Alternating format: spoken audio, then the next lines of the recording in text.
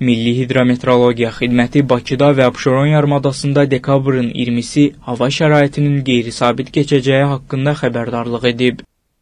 Dekabrın 20-sində Bakıda və Abşeron yarımadasında cənub-qərb küləyinin 21-də şimal-qərb küləyi əvəz olunacağı gözlənilir.